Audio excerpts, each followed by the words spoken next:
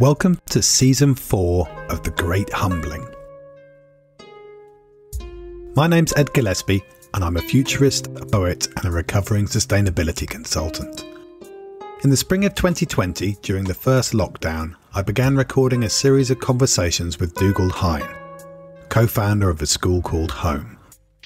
We started with a question What if it makes sense to think of ourselves as living in a time of humbling, being laid low?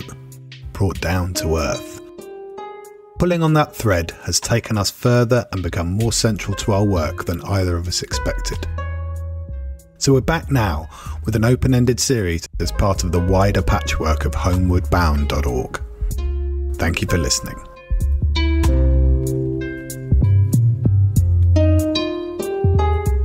Skype has updated and it doesn't give me the thing where it's always on top uh, when I flip to other things. So I'm not going to be able to see you while I'm looking. Oh, and maybe I can tell you what, if I minimize the script window, and, oh, and then it did pop up on top anyway. Oh, I don't know. I don't know, Ed. Here we are, episode seven of our fourth slow motion series. Last time it was summer, and we were sitting across a table and that was, I realized the 30th episode, like looking back across these series. Um, so now we're back on Skype, but uh, I'm setting an intention for the the future. For episode 60, you have to come to Sweden and record with me here in the shoe shop. Okay, well, let's make a commitment on that one. Yeah, it definitely feels rather different. Um, sat in my rather chilly shed today uh, with the creep of autumn in the air. Although I did notice actually that the new sleeper train service to Stockholm has started um, from Hamburg. So uh, I'll be keen to try that out because it's been a long time since I've been able to come um, to Sweden in any kind of manageable way by train. So that sleeper might make it a little easier. And you know, I think we should just be comfortable with our own erraticism. Um, you know, it's like it's a muse that runs wild and free. It is not tied down to a schedule. Uh, and you know, if we can't enjoy it when we're doing it, then uh, we're doing something wrong. So yeah, I'm I'm happy to be erratic. We could rebrand the podcast as the Erratic Review. yeah, exactly. Uh, it, when it comes, it's the right oh, time. Okay, enough of that. So uh, we, I, I, don't know about you. I had I had some lovely um, messages back from people after the last episode. Um, I had one from the artist Lydia Catterall who said she listened to it. She said, I was grinning all the way through. You too. The joy is palpable. You're like schoolboys who think each other is really cool and are slowly working up to saying so. It's gorgeous. well, that's that's a lovely thing to say, Lydia. Thank you very much. Yeah, I think we'll know we've really made it when we do that kind of boyish masculine thing of just start taking the piss out of each other constantly, which reveals the deep love that sits beneath.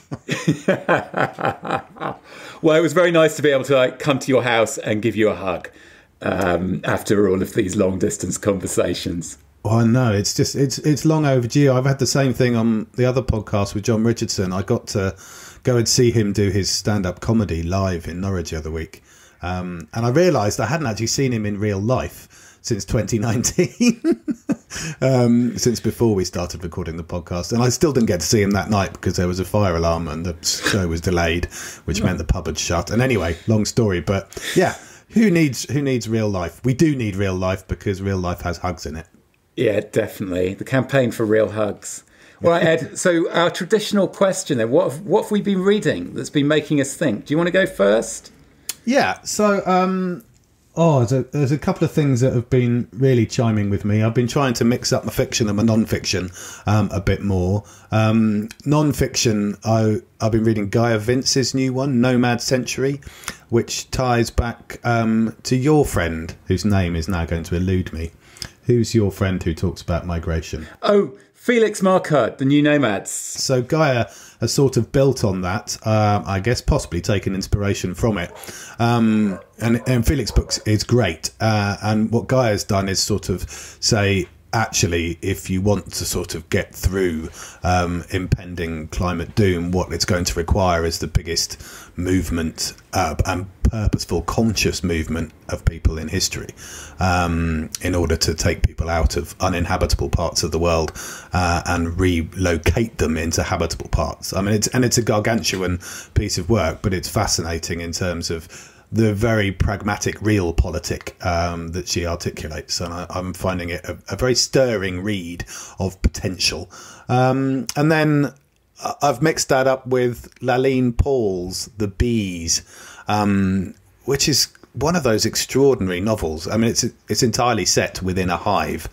Um, with the central character, a sort of elevated sanitation worker bee um, who gets promoted to become a forager um, and it's just it's really visceral in terms of the sort of implicit social commentary and the hierarchy of the hive and um, the the need for bees to obey and the punishment of death and retirement and sort of voluntary euthanasia. I mean, there's so many big themes uh, in the book, but all written from the wonderful perspective of a little fuzzy buzzing thing. Um, so I found that quite beautiful and and you know, one of those books that you end up reflecting on in quiet moments and going, "Wow, what what does that mean? What would it be like to be a bee?" And maybe we're bees.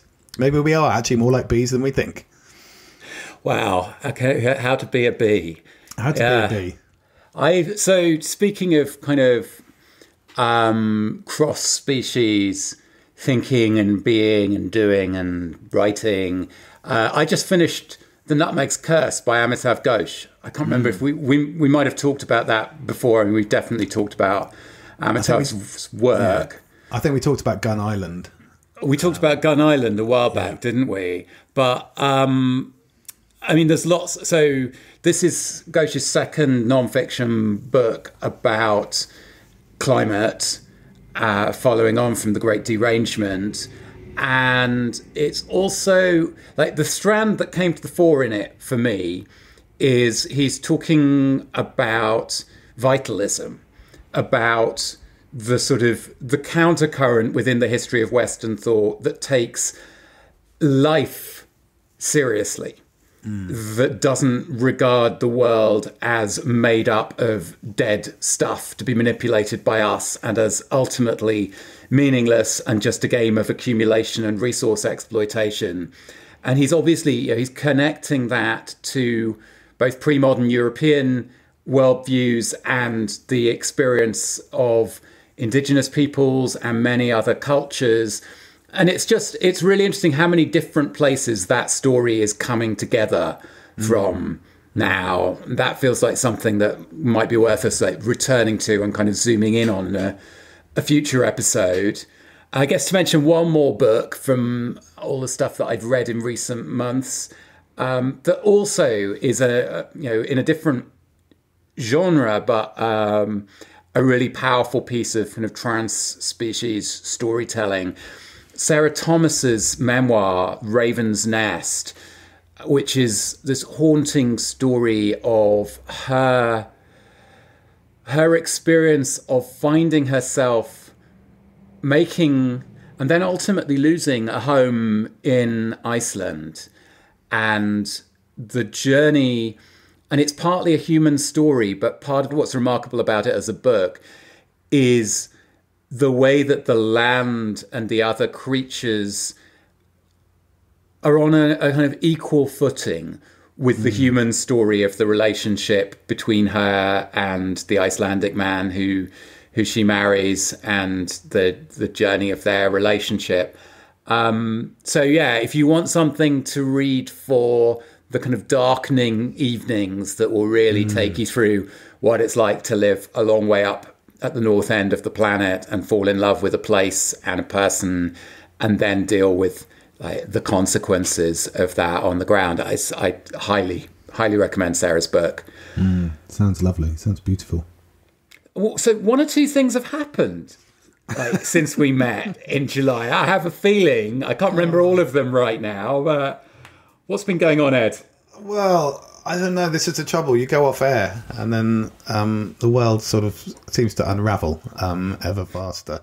Um, I don't know. I've been reflecting on the sort of managed descent of Conservative prime ministers in the UK. So, mm-hmm. you know, you've got Cameron, um, which apparently means crooked nose. Um, if you go back to the Scottish roots, and, and, then you had May with the sort of literally living the prevarication of, you know, will she, won't she? Um, we got relentlessly penetrated by Johnson, and now we've got Truss.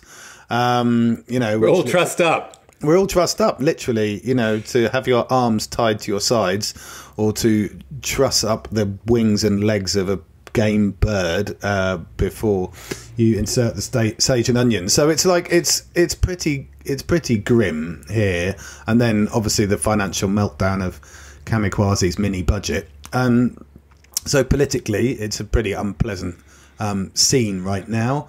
Um, I don't know. And then you listen to the sort of nuclear saber rattling in Ukraine, and um, I've actually got uh, uh, a couple of Ukrainians um, through the refugee program coming to live here um, for six months. So I've been sort of much more intimately connected into to that um, trauma now, um, and I'm looking forward to to hosting them, but also fully aware of the fact that you know it's not going to be easy for them. If it's hard for us to watch this from a distance, it must be even harder um, if it's your home uh, rather than just trying to empathise um, with the grim experiences. And I don't know, it, it comes back to this sort of sense of you know the long emergency, which I which I talk about a lot um, with my fellow future, you know, this sort of perma crisis, or what they called omni shambles um, in the in in the thick of it, where there's all these sort of creaking institutions beginning to sort of uh, fall apart, um, and then on, on on top of all that, you know, we got the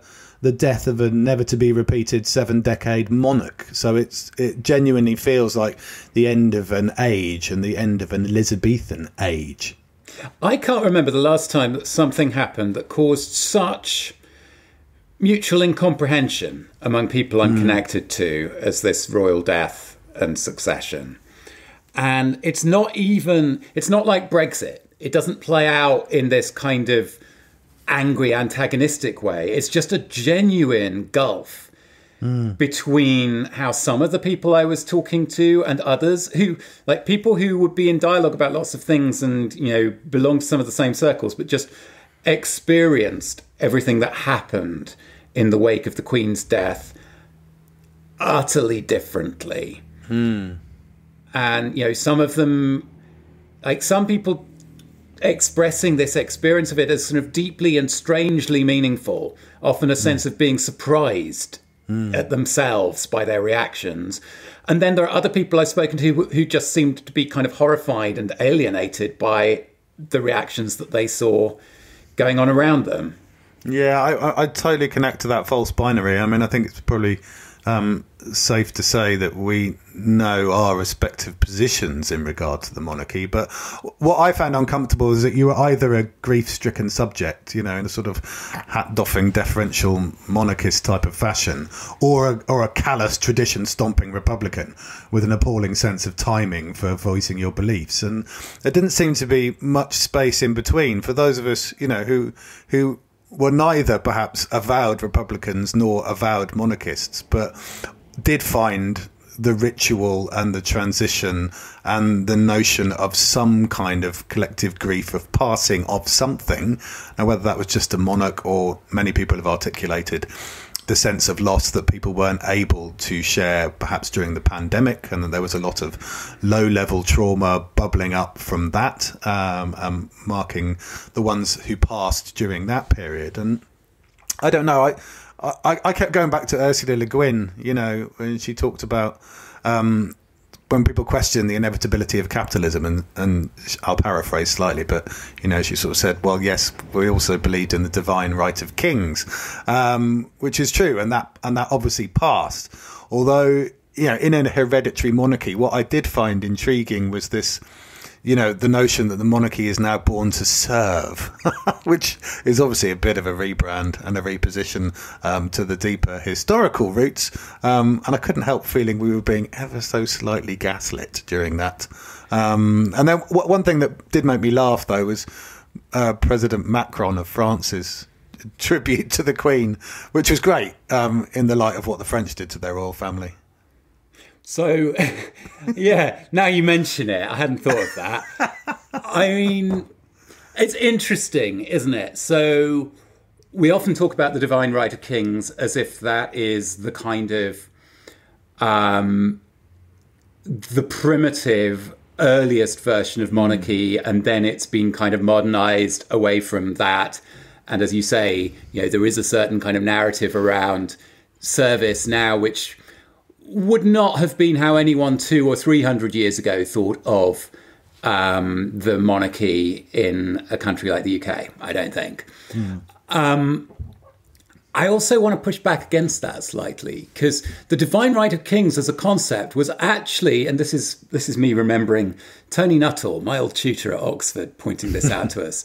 The divine right of kings isn't some timeless thing that's kind of been around from the year dot. It was actually articulated in the early modern period. Mm. It hmm. was a kind of strengthening, like you know, the opposite of humbling, I guess, arrogantizing account of what kingship was. Yeah. Um, I mean, there are in the roots of kingship, there are even kind of pre hereditary elective um, approaches to monarchy. Certainly, Sweden has some of that in its kind of pre modern history. But also, if you really want to talk about service, I mean, I remember Rowan Williams before he was Archbishop of Canterbury and presumably became a little bit more reserved in expressing opinions on things like this. But I remember him saying, mm, maybe, maybe where things went wrong with the monarchy was when the Maundy Thursday service stopped involving the king or queen actually washing the feet of the poor. That used to be mm. what that ritual was. Mm. And it became sanitized into this giving of this special bag of Maundy money, the special coins. So somewhere like the, the roots are more tangled, I guess is what I want to mm. say. And I mean, it's very it's very typical of this podcast that you say, let's try and find a way beyond the kind of binary of mm. those immediate reactions. Um, maybe it's our sort of trickster tendency to try as you say like the, the, connection between the artist and the trickster is like you know, the artist is the person who if you give them a binary choice will find a third option. They'll make the coin land on its side. They can stay longer with ambiguity and ambivalence without getting uncomfortable than you know, people occupying other roles within a society, and this is why Lewis Hyde's articulation of the artist as a kind of manifestation of trickster energy in modernity mm. is spot on. But we want answers, Dougald. Well, we want answers. Okay, if, no, if no, you want, uh, if you want, if you want answers, then uh, listen to Pat McCabe. Woman yeah. stands shining. This amazing Dine Elder. I, I, actually I listened to a bunch of um, conversations and talks by her on YouTube the other day while I was um, laying flooring in the shoe shop. Um, but the thing that brought me back to her work recently was that there was this extraordinary Facebook post that she wrote very soon after the news of the Queen's death, which really opened up this other sort of space of how we might be thinking about all of this. So I'm just going to read you a bit of this. She said mm. she was talking about like the reaction. She was in some kind of Zoom event with a bunch of you know, probably kind of activist people you know, I don't know, probably some other indigenous people in the group, whatever, when the news came through. And she said various people spoke about like being surprised at their reaction to hearing the news. And this is what she wrote. She said, It made me remember when I was in Spain, in the same room with the crypt of King Ferdinand of Spain. A strange, horrifying fascination filled me. To sit with those bones, with my son and a dear sister, she said, Let's pray. And as we prayed, I heard her finally say, I forgive you. I felt a shock run through my body. My son leaned over to whisper to me, I can pray for him, Mom, but I can't forgive him. I could only respond, That's okay, son, just pray. So I prayed for quite a long time, and eventually I found myself being able to come around also to say, I forgive you. What happened next was beyond anything I could imagine.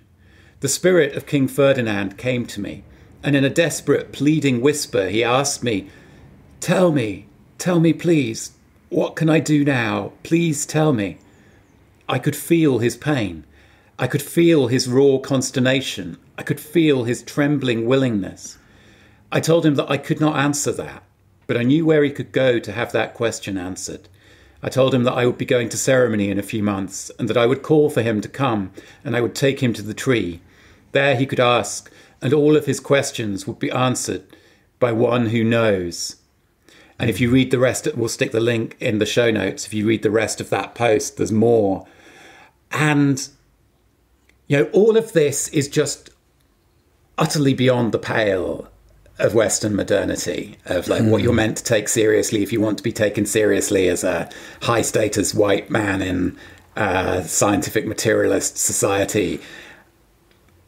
And I want to say, like, there's a, you know, when I've heard the Republican or kind of um, left wing kind of critiques of everything that went on around the Queen's death, I have felt a lack or like a tone deafness within that, which is not exactly comfortable for me to say.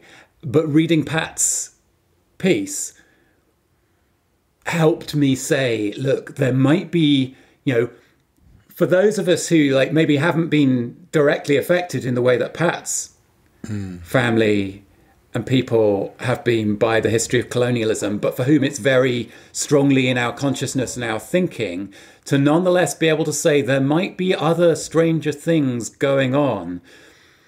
You know, there might be more in heaven and earth than is allowed for in our philosophy, Horatio as Hamlet says. Somehow that piece was what broke it open for me and helped me find a way beyond the backwards and forwards uh, stories that I saw in mm. circulation in those days after the Queen's death. Mm. There's, and there's also there's something really powerful in the intergenerational aspect of you know Pat with her son and a dear sister and this long deceased king. Um, and I don't know. I mean, I watched the funeral. I watched some of the funeral with my five year old daughter. Um, and it's always intriguing to listen to the curious questions that emerge from uh, a young head. But you know, I mean, I was I was moved to tears by the bagpipers, but it's only because I find the bagpipe incredibly stirring on some very deep and resonant level. Um, but then my daughter sort of pipes up. She goes, "Daddy, is the Queen in that box?" And I was like, uh, "Yes, yes, she's in there." Yeah, are we going to see her? And it was like, well, no, no, I hope not. Um, which ends her head? like, uh, uh, I think it's under the flowers. Um, you know, and then and then having to try to explain bearskins, you know, on the on the heads of the of the the troops parading and and getting incredibly tangled up and actually incorrectly telling her that they were no longer real bearskins, which apparently they still are.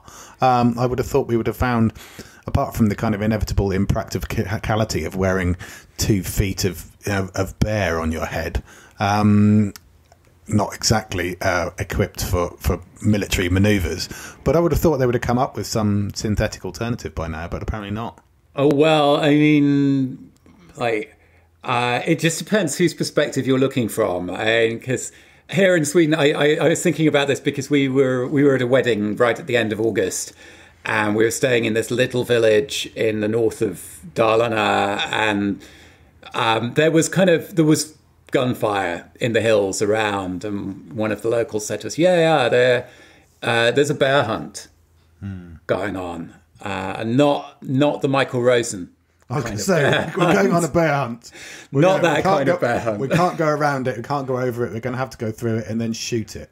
So from the from the human perspective, the bear population is getting a bit big. The bears might have their own opinion on the human population. but my my mother-in-law, who is Finnish, um, tells me that bear is very tasty, and there is a restaurant you can go to. She insists. So there's a restaurant you can go to in Helsinki. She insists that they serve bear that has come from Russia. I don't know whether this is true or not, but I can definitely like knowing Finnish culture a bit. I can see that as a as a restaurant concept in Helsinki, come and eat the Russian bear is probably a winning concept. Here we are in the world of anthropocentric geopolitical cuisine. Oh wow! Yeah, but aren't, but, uh, but aren't you aren't you a silver jubilee, baby Dougald? Aren't you a little bit? You're a little bit younger than me. I I am. I was born in 1977, the year of God Save the Queen, and uh, I was not, not just a Silver Jubilee baby. According to the BBC, no less, I I will have you know, I was a Silver Jubilee babe. Babe. In yeah, in the Golden Jubilee year, they did a whole load of programming around like the significance of 50 years of the Elizabethan era or whatever, and they had a kind of they had a public debate with all of these kind of prominent figures um, on BBC One one night. But then they had, you know, that do you remember the era of press the red button in your digital box and Yeah. you get like an extra feature? So I was part of the extra feature because they had three of us and they did an online thing and we went to oxford and all spoke at the oxford union which i had like never been to in my three years as a student there. And uh, so we were all 25 we'd all been born in the silver jubilee year.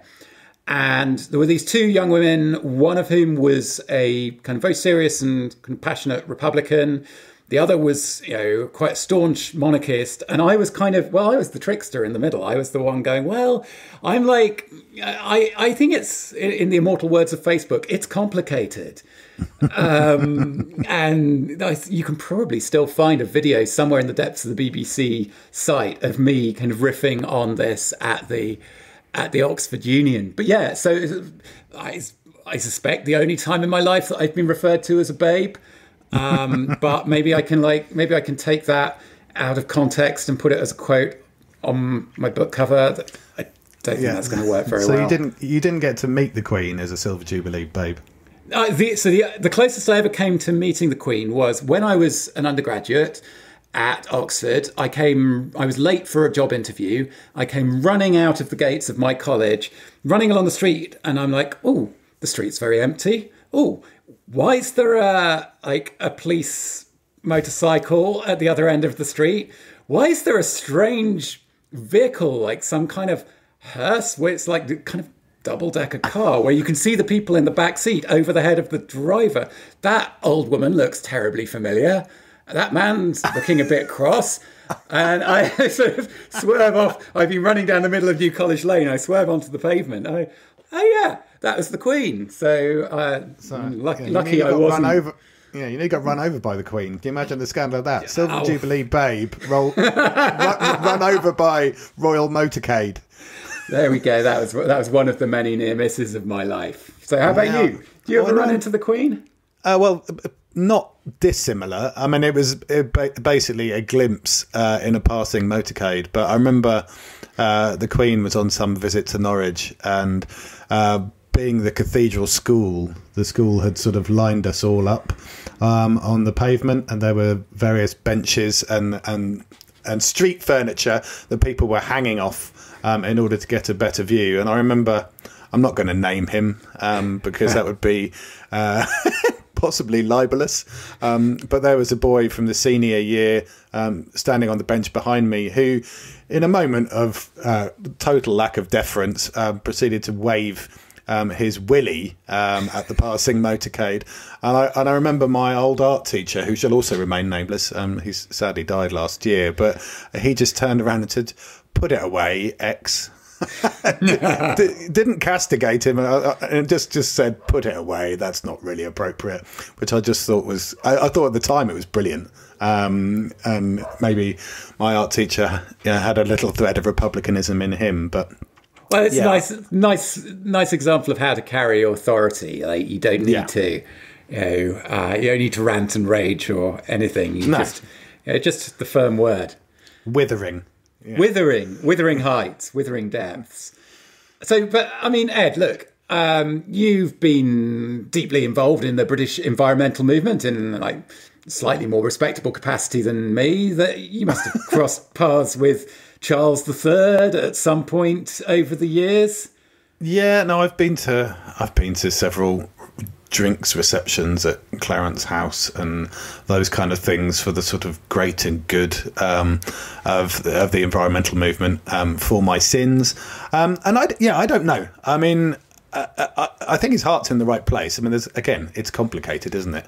Um, I mean, and certainly his sort of pioneering of of many issues around organic agriculture and um, the things he did with the, the Duchy of Cornwall um, are, are, impressive. I mean, they're not very inclusive, though. I guess that's the thing. It's always done in this sort of slightly um, superior, like if only everyone could see the world the way I do, kind of way. Uh, but I mean, I guess there are some hopes that he will be um, a Green King or the Green King, um, which always makes me feel a bit thirsty. Uh, but that's that's probably a beer-related uh, obsession. Um, although you know, let's face it, we're not off to an auspicious start with the Prime Minister telling him he's not welcome at at COP. So um, at COP 27. So I don't know. Uh, it, it has potential, and clearly the the monarchy could do some very uh, influential and transformative things if it decided to engage in a radical ecological transformation. Let's not hold our breaths, but um, equally, let's not dismiss um, its role in, in, in change. So, I mean, going back to that thing I was talking about before, that the sense of lack that I had in many of the kind of reasonable, skeptical accounts of like, why we shouldn't be taken in by this staged uh, PR operation of um, the kind of invented rituals of monarchy and and so on. I, a piece that kind of connects to that and will maybe take us through to some of the other things that have been going on since we last sat down to record was um, a Substack post from my uh, old pal Paul Kingsnorth, The Nation and the Grid. And I mean, Paul's written a lot about Englishness over the years, and I, I, the first time he and I ever met in person was at the launch of his book Real England: The Battle Against mm. the Bland, which mm. I think was a wonderful book. And you know, I've seen him take a lot of flack over the years, often undeserved, for trying to ask thoughtful questions about people's relationship to their sense of belonging mm. um, at the level of Englishness.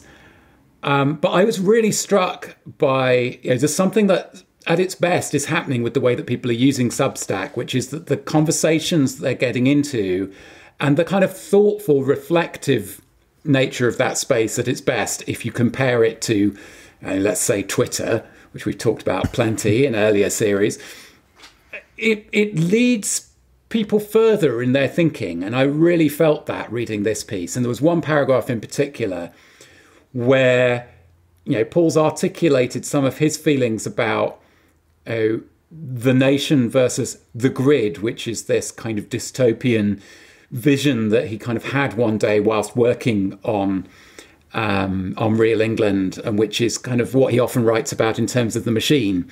And I, you know, I, I feel a lot of affinity with what he's articulating in a lot of that writing.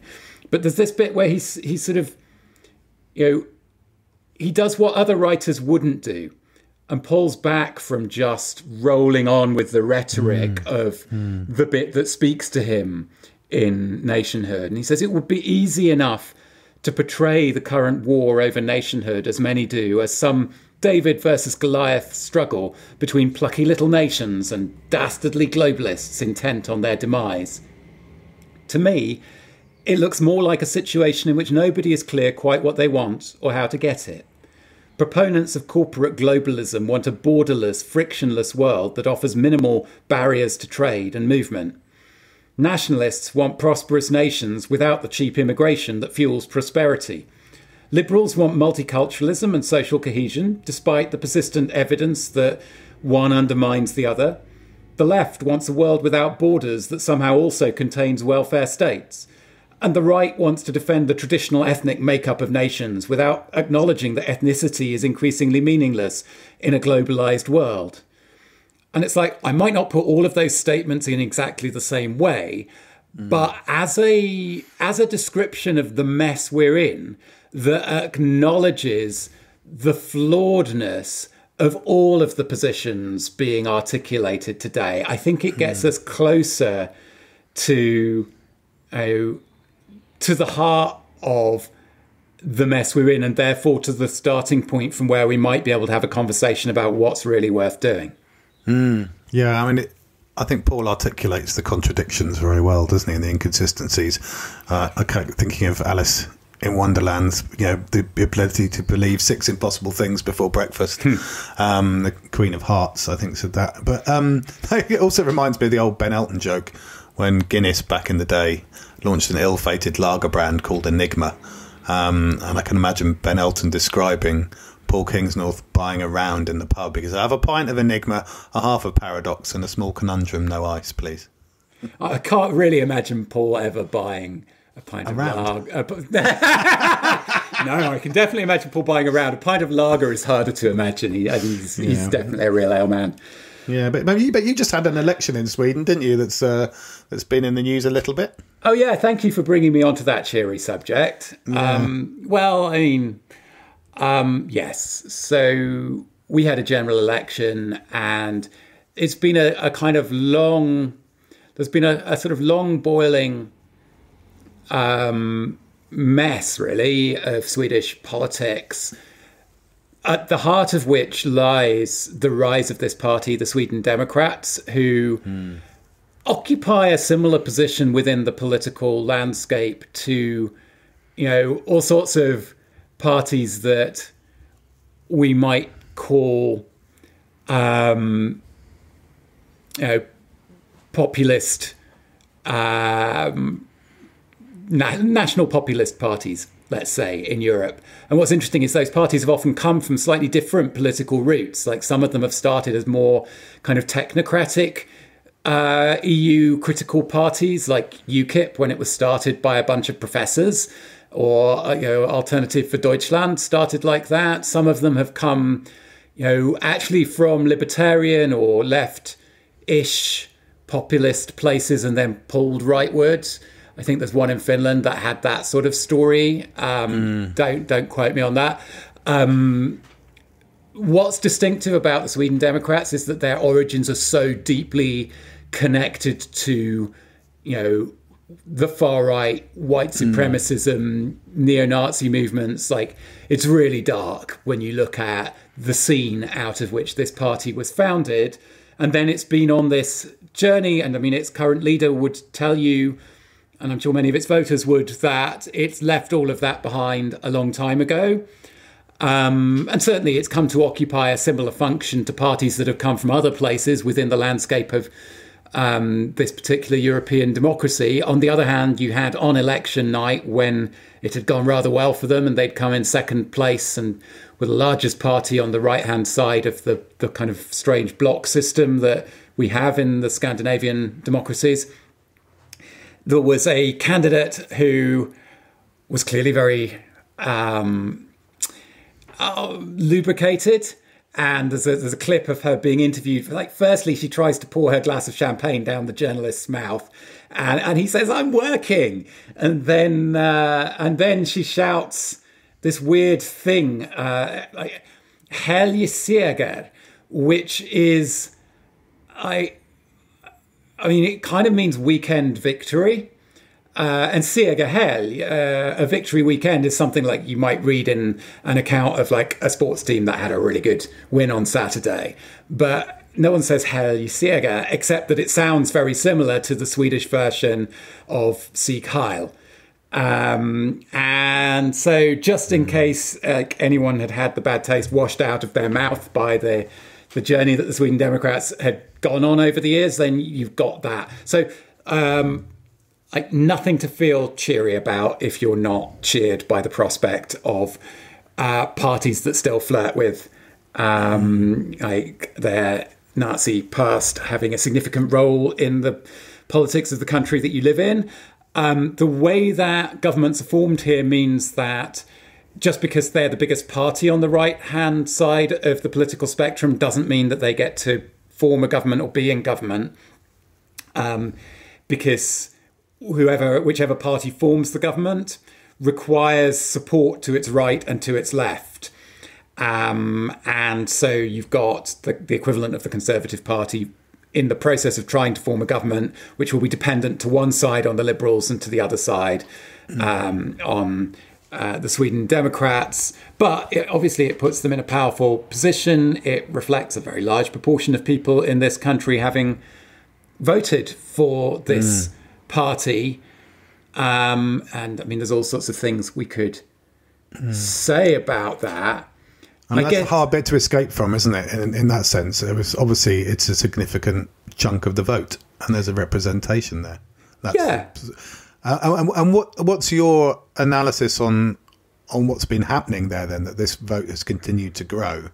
Well, I mean, look, it's it's not so different to what we've seen in lots of Western democracies, which is that there is an increasing gap between you know people who are aboard the train of this latest phase of modernity and people who you know not always uh, are not always kind of economically the most uh, excluded although some of them uh, might be in kind of quite precarious um, conditions but who feel like they're on the outside um, they're looked down on by the big city people like there's a, a strong vote in rural areas and living in a small town in rural sweden i understand like some of where that is coming from, the sense that none of the established parties really care about mm. The people who were kind of seen as a bit backward and like why why don't they just move to the city and get into the 21st century and like there's some really it's, it's like the one socially acceptable form of prejudice in modern western societies is against small town people and rural people and that's mm. part of what is mobilized by a party like this but i guess i'm not trying to speak in their defense.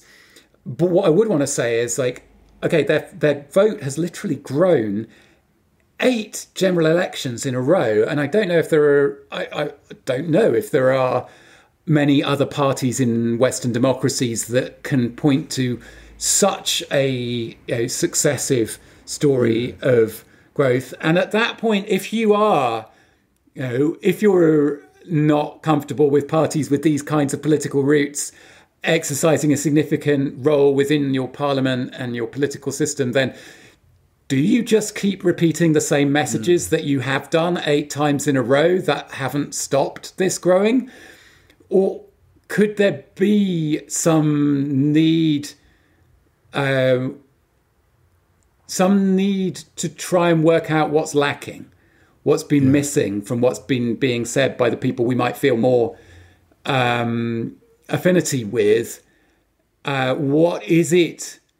You know, what if the things that are being spoken to by these parties that we don't like and wouldn't want to be associated with are not all just horrible, evil, toxic things? What if yeah. they are putting their fingers on some things and maybe like drawing drawing conclusions that are different to the ones we would see as worth drawing?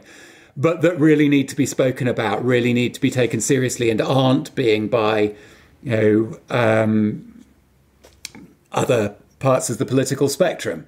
And I guess one place I go with this is I'm thinking about Bruno Latour, who yeah. just died. Uh, may he rest in peace. Um, a fascinating philosopher of science.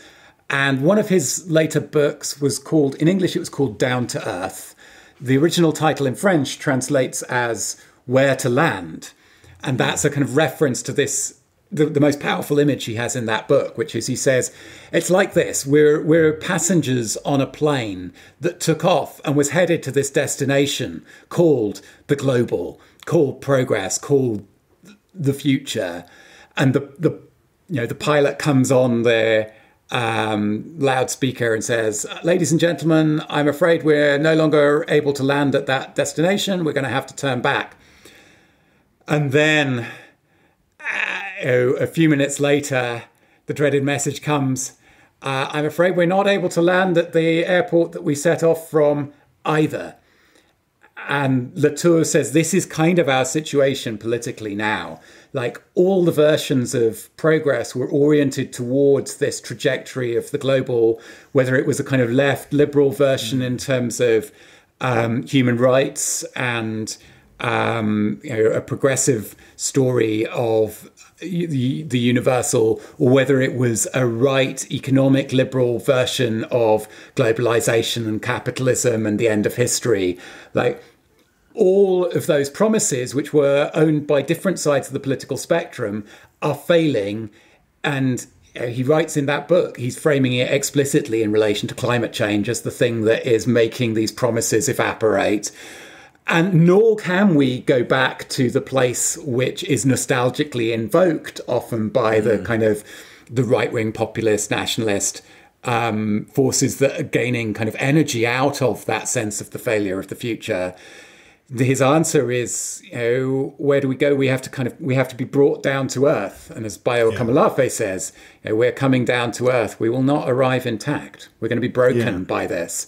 And I see that as inviting us to something messier and more complex than just doubling down on our sense of who's on the right side of the argument within the existing map of yeah. the political spectrum. And that's where, you know, like that passage I quoted from Paul's Substack post, to me begins to speak to what it's like when we really accept Latour's invitation to be brought down to earth in essence, it's the difference between uncertainty and certainty, isn't it? It's like what some of the, the values and the the desires that that that, that the right is tapping into, not just in Sweden but in Italy and, and elsewhere as well, is to bring in you know those those senses of belonging and strength and power.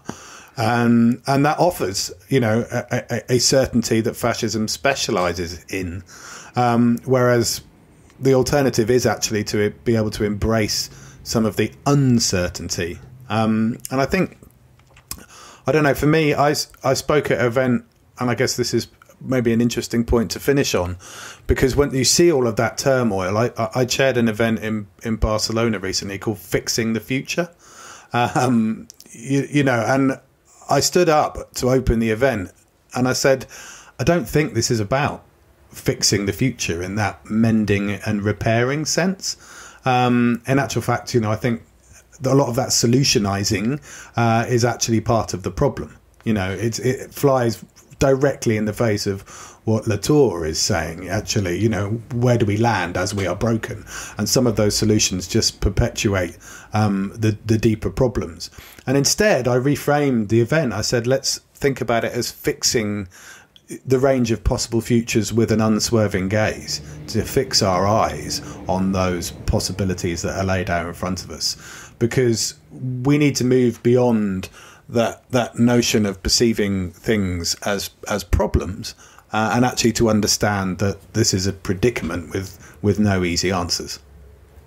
Maybe if we are looking for ways to approach that predicament then looking for what is lacking, looking for, you know, it's something that, again, I mean, we often come back to her work, but Vanessa Andreotti and others in the, the Decolonial Futures Collective, I've heard them talk about not even trying to bring in the thing that is lacking, but trying to visibilize the lack mm. first because it tells us something about the space in which the conversation is taking place. It's like we can't necessarily bring the thing that is lacking into this space as it exists. We need to rethink the kind of space in which our conversations are taking place and, you know, work out what it would look like to have a space of political conversation that had room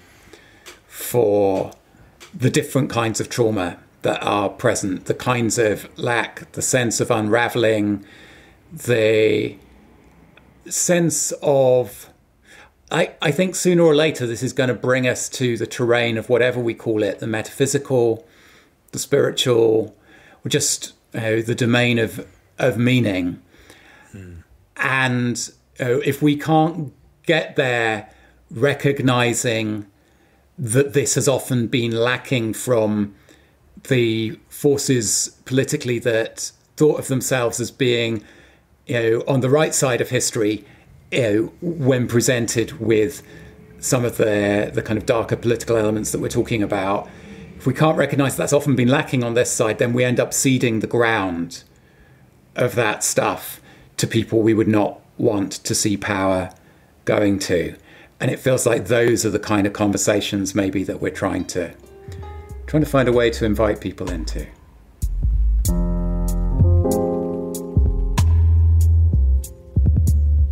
Thank you for listening to The Great Humbling. If you'd like to follow the threads in our conversations further, head over to homewardbound.org, where you'll also find my Substack, Writing Home.